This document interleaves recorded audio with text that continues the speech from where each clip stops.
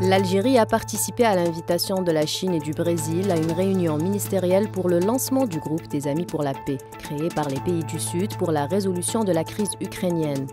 Lors de cette réunion à New York, le représentant permanent de l'Algérie auprès des Nations Unies, l'ambassadeur Amar Benjama, a affiché le soutien de l'Algérie à cette initiative globale et constructive visant à mettre fin à ce conflit le plus tôt possible, conformément aux principes et buts de la Charte des Nations Unies et compte tenu des préoccupations sécuritaires légitimes des deux parties.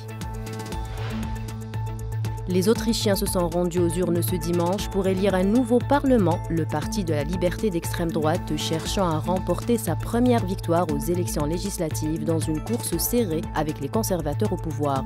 Les premiers bureaux de vote ont ouvert à 7 h du matin. Les projections seront publiées quelques minutes après la fermeture des bureaux de vote. Les résultats seront annoncés au cours des heures suivantes.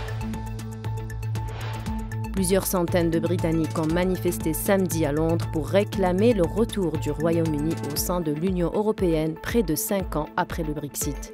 Au milieu d'après-midi, une marée d'europhiles a rempli Parliament Square au son de l'Ode à la joie de Beethoven, considéré comme l'hymne européen après avoir défilé depuis Hyde Park dans le centre de Londres. La Suède commencera la construction d'un nouveau réacteur nucléaire avant les prochaines élections législatives prévues en 2026, a annoncé le Premier ministre Ulf Kristersson.